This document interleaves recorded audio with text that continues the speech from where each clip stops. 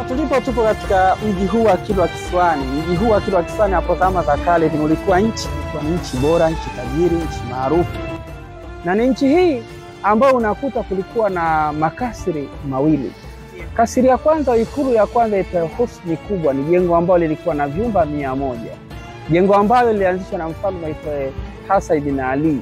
Kulikuwa na jengo liitwalo Husni Ndogo, lilijengwa katika karne ya kumi na mbili. Iwapo wanakuja biashara wakihitajia kusafiri misafara yake biashara, walikuwa wanalia safari husu Ndogo.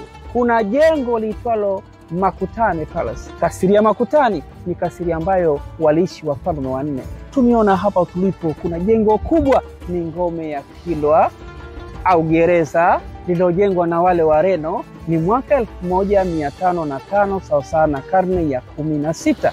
Kuna jengo liitwalo msikiti mkuu pamoja na nyumba kuu. Ni msikiti wa kipekee katika Afrika Mashariki, ulikuwa msikiti mkuu uliopo nchi ya Kilwa Kisiwani. Hii ndiyo Kilwa, ina maajabu yake. Mimi nimefurahi, mimi nimeenjoy kwa Kilwa Kisiwani, nimejifunza vitu vingi sana.